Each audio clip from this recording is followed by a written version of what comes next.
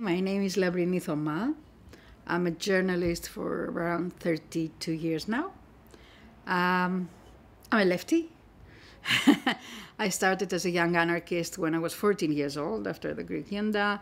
Moved a little to the right since then, but still never left. This is my my place. I'm a little bit more Marxist now. How old were you that. when the coup took place? I was three. You were three. I was three okay, years so old, and I was ten when they left, and was a very, um, very uh, politicized era for for Greece at the time when they left. Uh, when we won, actually, it was the Polytechnic. Yes, it was supported uh, from the United States. We had the tragedy of Cyprus, of course, at the same time, which was supported by the United States too, and from the English. Don't forget the good old friends of the United States. And um, there was an uprising by the students in 1973, the Polytechnic uprising, and a tank bro- uh, brought down the door of the Polytechnic. They killed 21 students at the time, and it was a big um, uh, universal uproar against them. And after that, they had to change. We had the second junta for six months. And then they lost after the, the Cypriot uh, tragedy. Um, people were against them anymore. That's when you have people against you in and out of the country, you can survive. So that's how it went. Anyway, I grew up in a country where politics are the main thing. We all talk about politics. That's how Greece is. And I started with this crisis. I started thinking what we could do for our people. We're lucky enough to have a way uh, work. We have work, so we can live. But there's so many people, so many families who have nothing anymore, no jobs. Uh, try to survive in a very difficult condition. Uh, people are really in a very sometimes people say humanitarian crisis how can you talk about the humanitarian crisis in a european country you know? We have a humanitarian crisis. And how long has that been going on in greece? For four or five years now. I, I'll, I'll tell you this why you don't see it in the streets? Because we're a very uh, a, a, people who has a very strong sense of uh, um, axioprepia uh, pride. Pride. We're, we're a pride, proud people uh, in this municipality, we're in a blue collar area called Peristeri. It's a working class area. There's like 80% of the people are working class. That means half the people are unemployed right now in this area. We so 50% unemployment. Yeah, 50% in this, in this area only. So we have a lot of people who don't have to eat. But the mayor did this. He doesn't make soup kitchens. He has people who um, volunteers with uh, bikes who take the food to the houses of the people. So they don't have to get out and stand in the line, you know, to eat. So you don't see the soup kitchen anywhere, but it's here. We have to feed our people every day. They don't have to eat. So it's a humanitarian crisis, the European way or the Greek way, but there is, it is here. In schools, we have kids that are um, uh, losing their, you know, their, their they're fainting, fainting, fainting, fainting because they're in in their fainting yes in the schools because they don't have to eat, and they started a program two years ago uh, with uh, breakfast for kids at school because there were so many that couldn't afford it, couldn't afford to eat. Uh, there were kids who didn't have anything to eat for three days and they were taken to the hospital after fading out because they were in a bad condition. And on that, we have the, the crisis in Syria and all those people and all those kids coming to Greece. It's such a shame that such a wonderful country, wonderful people, but is I mean, now destroyed. In the United States, they talk now about the refugee crisis, but they don't make a connection. It's because of the bombing. Yes. Uh, how can you talk about a refugee crisis and not Without, look at the reasons that people are leaving their homes, their they're forced home. out of their homes. And their families. It's not like people who are um, financial immigrants. They're not coming here to make money, you know, and sent back home like the immigrants we had before, where they cannot make money here because there are no jobs here. But anyway, they were coming, trying to go to Northern Europe maybe. So we're having families with kids, people who are well educated coming here, and we have to support them too if you see the stories that come here from the islands like Lesbos or Kos of the condition of the people there. Actually, uh, I was reading today a message. There's a there's an uh, NGO called Agalia in Lesbos, which means a hug, and they're supporting all those people. There are like two or three thousand people every two days arriving on the island, and he was saying, please send us even fifty euro because we know how to make them a hundred meals and we have to feed all those people. And he said something wonderful too. This guy Yorgos, who is one of the four members that created Agalya, that the tourists, you know, you go to the Greek islands for tourism, they're not just staying there at the beach; they're helping the immigrants. And this is something you don't see in the news, but they uh, went and uh, uh, joined the Greeks in supporting the people who arrive, the Syrian people who arrive there. Anyway, they're arriving in a very poor country, in a crisis, and we cannot really support them, give them jobs, because we don't have jobs for our people. You know, it's we're in a very bad condition right now. And I mean, the bombing, uh, U.S. bombing of Syria, U.S. bombing of Libya, U.S. Yes, bombing of Iraq, U.S. bombing of Afghanistan, uh, uh, of, of Yemen now, where the United States is supporting the yes. bombing of the people of Lebanon. It seems like the United States is destroying the, the whole region with this mass militarization. And but it, in the United States, there's no organized mass opposition to bomb and war uh, against can, the people. Uh, until now, they do whatever they want unpunished. The United States do whatever they want to do unpunished, and that's why now we're in a very dangerous situation because being unpunished and feeling that they can do whatever they want, they're doing things that we're all going to pay very dearly.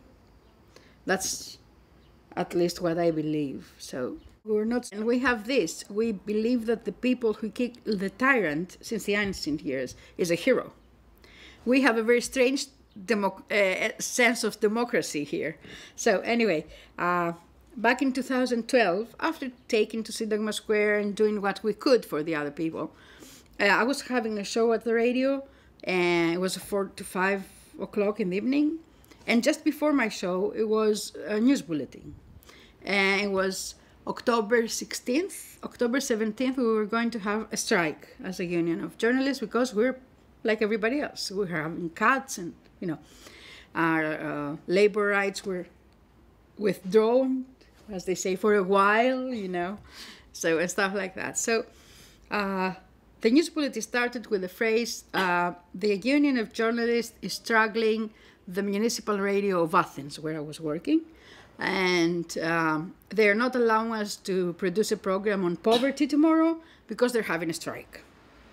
When the news bulletin finished and I started my show, I said that the Union of Journalists is not struggling anyone, that we are uh, members of a union and we have to strike. When the union says we have to strike and even for more than one day because the, it was a one day strike you know it was like nothing actually. And that nobody uh, that that was not the news that was the opinion of the director of the station. So when the show finished they called me upstairs to the office of the director to tell me that the show is off. I'm not going to do another show again and not only that, but they would move me to um, work in the portal, uh, news portal, from 6 in the evening to 12 o'clock in the night. Now I I'm a single parent, and I was then uh, seeing my son after 6 o'clock in the evening, and he knew it, the director knew that. So he did it to punish me, so that I couldn't see my, my, my son, who was in his two last years for the university to, to give his exams to go to the university at the time. Now, to be honest, if he didn't do that with my kid, maybe I wouldn't take it to the edge. But trying to punish me in my house, you know, not only at the job, but in my house, trying to destroy my life, trying to destroy my kid, I'm not going to allow that as much as I can. And I was lucky enough to have very good colleagues at, at work. So I went to the union, did um, uh, said what happened and asked the union to help. The union tried to see him, he refused. And when the union decided to do a, a three day strike, he fired me. Then the, the strike became an eight day strike. And it was near to closing. The station was near to closing when he, he moved back and he said that he will accept me back to work, but without a show. And he will give me a good, um, I will be in the morning, you know, so I could see my kid in the evening. And it took us eight days of strike to, to win that, but we won. We won. I went back. You know, sometimes you say I won, but thing is, when you are back and the union doesn't have the power to protect you anymore, they make your life a living hell. So that's how it was two years after that. He could do anything to destroy my day. He will try. I was his personal goal, my boss, and I'm very proud of it, had the personal goal of destroying my day every day. You know, he was micromanaging everything I was doing. So it was it was a great experience.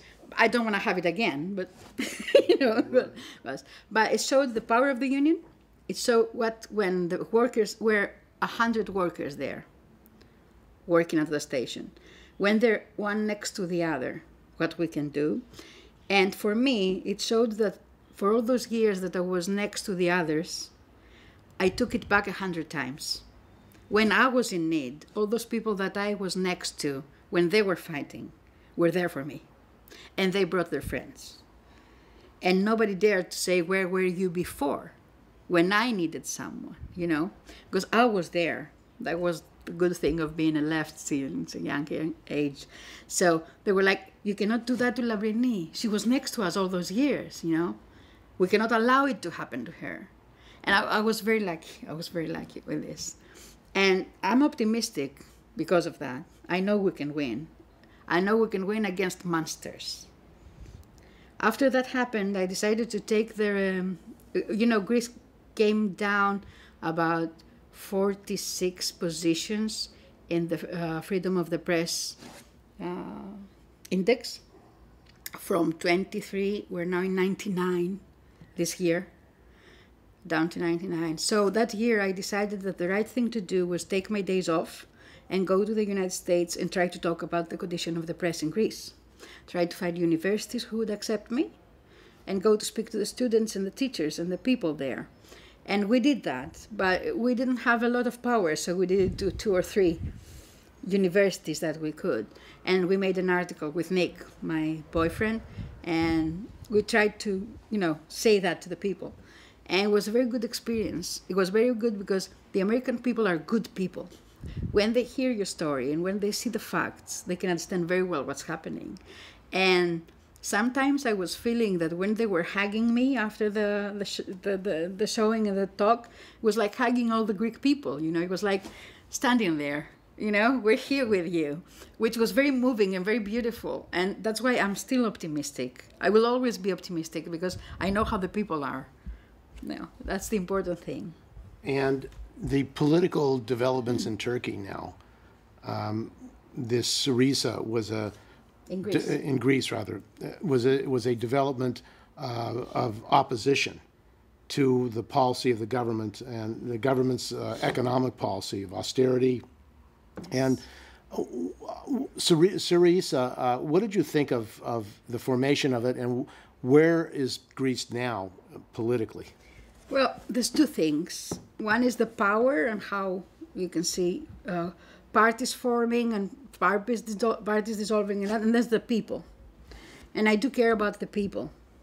Syriza was uh, came to power because of the people. It was a four percent party five years ago. If five years ago you'll say to their own people, to Syriza people, to Tsipras, you're going to be prime minister in five years, he will say, "Come on," you know. This cannot happen now. We're a four percent fringe party. Sometimes they weren't able not uh, to get in the parliament. So this four percent became a thirty-six percent because they were anti-memorandum, and What is the memorandum? the memorandums are three now. the third one is the left one. They're destroying the history of these people. The, the, the, the word left was a go- good word in this land until now. And um What was The one? memorandum What is- what does the memorandum mean? memorandums are kind of laws and it's no it's a new way of uh, um, colonialism what happened is the poor countries of europe greece being the poorest of them were taken into euro the monetary union which was to strengthen up the already strong And when they became very indebted, they were said that you have to become poorer, your workers have to have no rights, and we have to take from you all the money we can get, and only the banks can survive. And that's a memorandum. We started the European Union. It started with this beautiful story about the people of Europe being united, about living all together, about loving each other. It was a hippie dream, the European Union. And then, of course, it was a monetary union. What happened? monetary unions are not the kind of unions that people want, you know? It's the kind of world that capitalism wants. So what happened is the European Union, along with the IMF, of course, they finished the jobs in Latin America and Africa, and now they can take over Europe. And the European Central Bank, who has the money right now. We don't have a central Greek money. Uh, we don't have a central bank in Greece. We don't have our own money. We have the euro, which belongs to someone else, and he can do whatever he wants with it. So we're we're not only indebted, we're not free. So we're a country. That's why I'm. It's neocolonialism. We're a country that they use. Uh, uh, they taking everything away from. Like you know what happened with. Uh, it's a good story. What happened with the airports? The small airports in Greece, like in Corfu, in Rhodes, they have a lot of work because we have tourism. We have 14 such airports that were sold to a German company because the memorandum says so. Privatizations and stuff. The German company is belongs to the German state. It's a state-owned company who bought our privatized airports, and the money they paid was the money that the Corfu airport alone makes in a year. So we're slaves. That's what we are. We shouldn't pretend that we're a free nation anymore. Syriza sold to the people the dream of freedom. What Tsipras was saying is, we're going to be free again. We're going to stop this. And he became a government because of that. He became he took 36% because of that. Not only Tsipras, before that. The first who accepted the first memorandum was the Social Democrats. Kind of the Democrats of the United States, I think. And then the, the right at the time said that this is not good, that we should go to, um, we should have our sovereignty, we should not accept this, and people vote for the right. When the right government was elected, they brought the second memorandum. so, yes, of course, it's nice to be free and everything, but you can't say no to Angela Merkel, right? So, so the second memorandum came with them, but the people who voted for them were anti-memorandum. that's why I say we mustn't, you know, think that the government and the people are doing the same things. No, it's different. The people voted for an anti-memorandum government. The anti-memorandum government became memorandum when it became a government and brought the second memorandum. So the people of the right moved to the left. It was a, a great radicalization. And the party of 4% became to 36% because all those people, right, centrists, left, decided that they wanted their freedom again. That's what's happening. So they vote for Syriza because Syriza is the anti-memorandum party, and Syriza becomes a government, and the third memorandum is coming. So we're three times betrayed. And then Syriza decides to do the referendum. And why did they want to have a referendum? According to people like Yanis Varoufakis, who was the Minister of Finance at the time, they wanted to have the referendum because they believed that the Greek people will vote yes and not no. And if the people vote yes, they can go and say, we cannot go against the will of the people. You know? Because they wanted to say yes, they couldn't find anymore. But the people said no, 63% no. This is a proud people. And this 63% no, in one hour, when he went to the European Union to Brussels, became a yes. And he said yes to everything, Tsipras. Was the biggest betrayal of all not only for the people, but for the left too. But all the left didn't support him. No.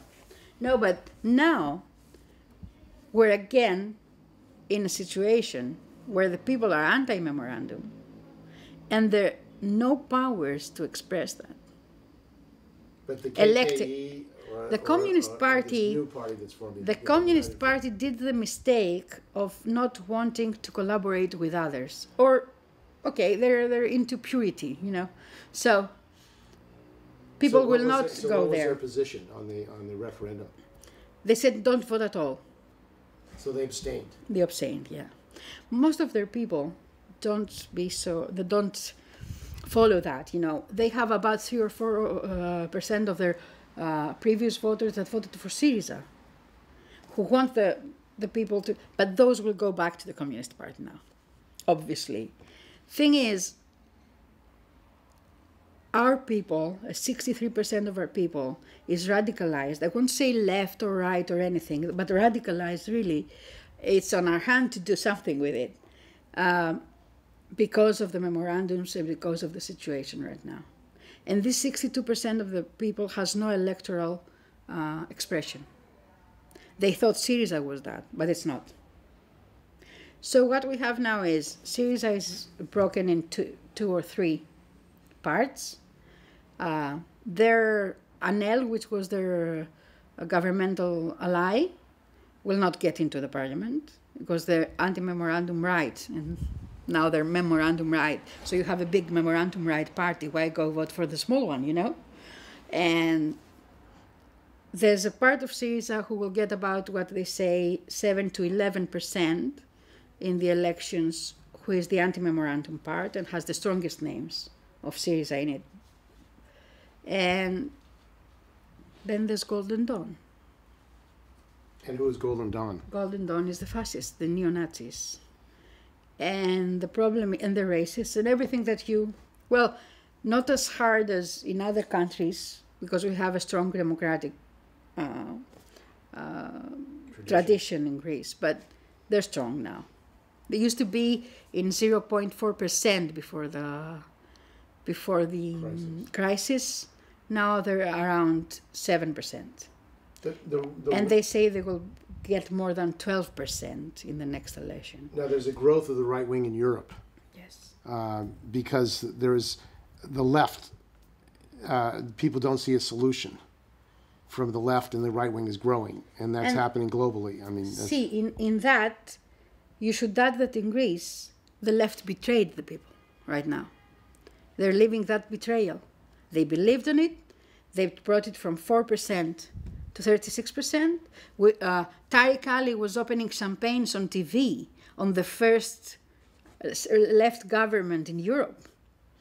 The people in Italy, in Spain, in Portugal, in all the countries that are suffering because of, of the memorandums, they were like, in Ireland, we have a left, something's changing. And then Tsipras, Tsipras was the new hope of the left in the world.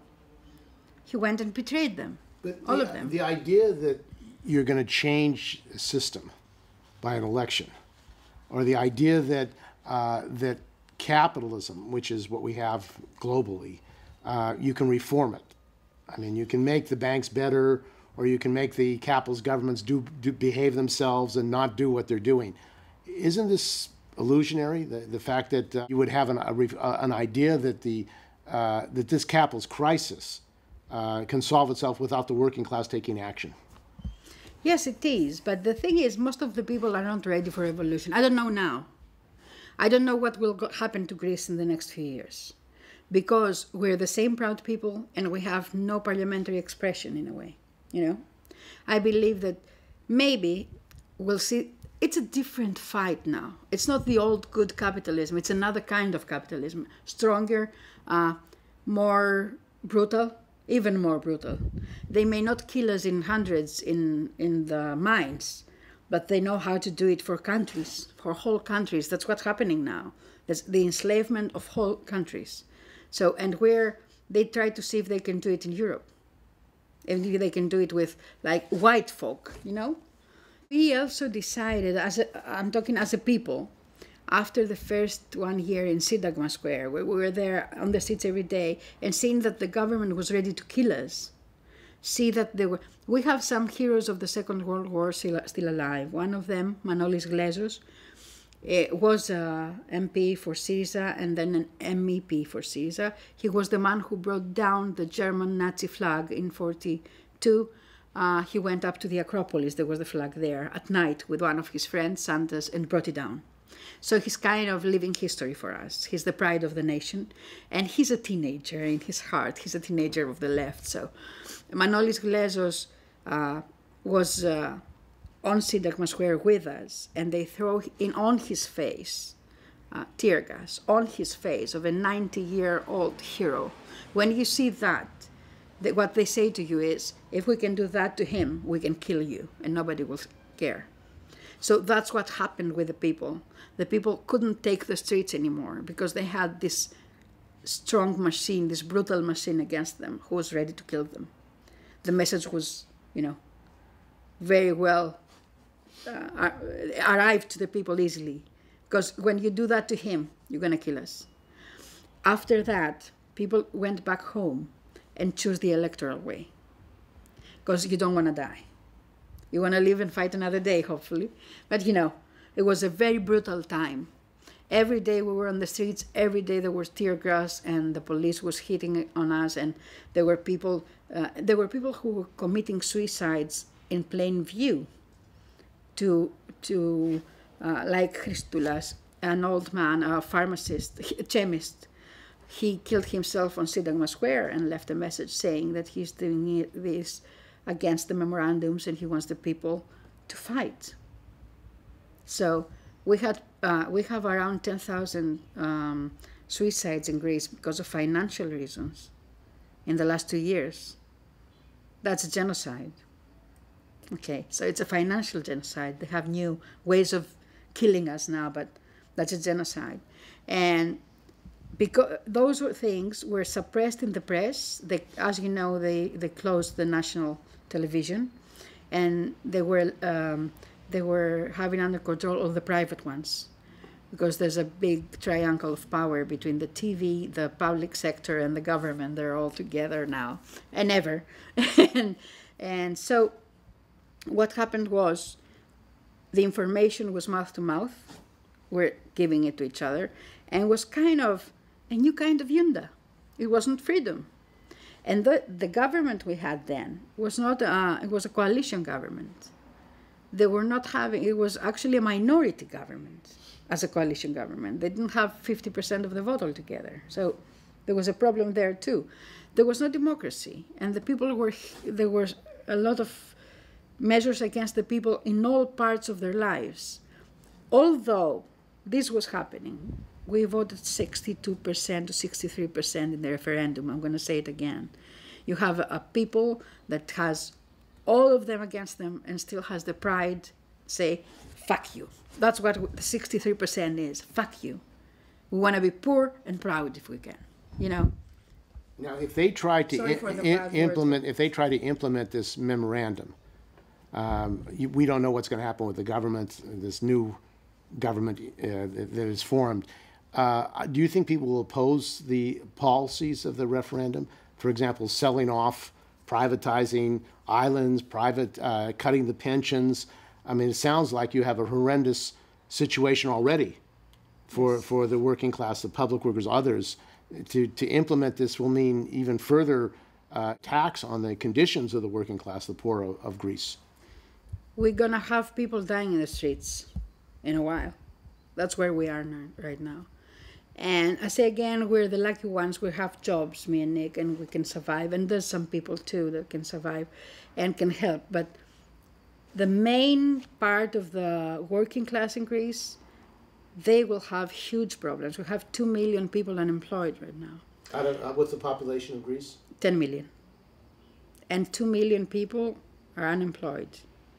Okay, so if you take the students there, you count the students and the people who are in pension, you see it's, it's I think it's a, they call it less than 30, 30 something percent, but that's the official number. They don't count the people who work for even one hour every month.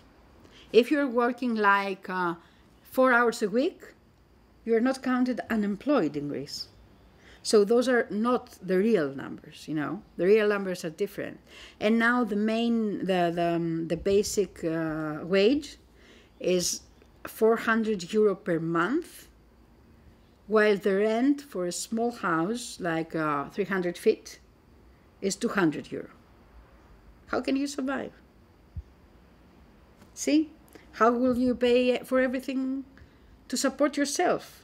How will you make a family? You know how many young people don't get married anymore? There are no kids born in this country anymore because they cannot afford it.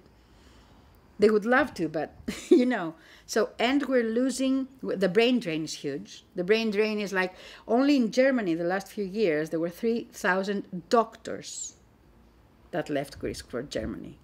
Doctors. You say he's a doctor, he's going to survive, you know? Medicine doctors. No. I even met some Greek medicine doctors that went there for to survive in New York. You have a community there right now, creating. uh, So this is this is happening in Puerto Rico too. People are being forced out; they can't survive. Yes, it's like that. So this is the recolonization of, of Greece and the destruction of the Greek as uh, the Greek people and the conditions of Greek. What action should the Greek people take to defend themselves, in your view? I trust my people. I wasn't so sure about them until five years ago. The crisis makes me trust them. If they manage to not fall in in the hands of Golden Dawn, What did the 62% of the people want? I mean, uh, basically, uh, they didn't want this austerity. They didn't want the economic policies that the Merkel and the banks want to impose in, in Greece. yeah. So how how is Greece? I mean, is, Greece is not alone. Other countries face the same thing. How are the people in Greece going to be able to fight back against the whole power, economic power of capitalism of the banks worldwide? One basic thing is they don't fall in the hands of Golden Dawn. We, we must take care that our people are not falling for the fascists. Because if they decide that the electoral way doesn't work, and it shows like that, maybe some of them, especially those that, moved to, er, that were radicalized but they're coming from the right, will go back to them. Don't forget that Nazism has some socialist um, sperm of ideology in it, and maybe they would try to see the, the nice part of it. Sorry to say those words, but you know, for the, the right wing people, it's like that. They can move there. That's the biggest danger right now. After the colonial powers against us, okay, because the main thing is this, and that's what people are trying to do. And if they vote for the Nazis, not because they became Nazis, it's because they see no other electoral way to get out of their problem, and they're not ready to take to be killed because revolution is deciding that you can die for what you believe, you know. But I believe that because we're a proud nation, we will not do that. We will not fall in the hands of the of Golden Dawn, and we will find a, a way out. This must be a new way out. The main problem is to see if we have some new weapons as a working class. All are old weapons, but the the uh, strike that will never stops. The, the, the how do we call that kind? of Occupation or, No, a strike, indefinite- uh, indefinite, indefinite, strike. If we don't go on a general indefinite strike, that's the only real weapon we have from the old ones. There's no other one working. So an indefinite general strike with occupations, Mm-hmm. workers running and taking over Greece. Yeah. Are people ready for that? In some occasions, yes, they are. They did that. They did it that in the national radio, uh, national radio and television in Thessaloniki.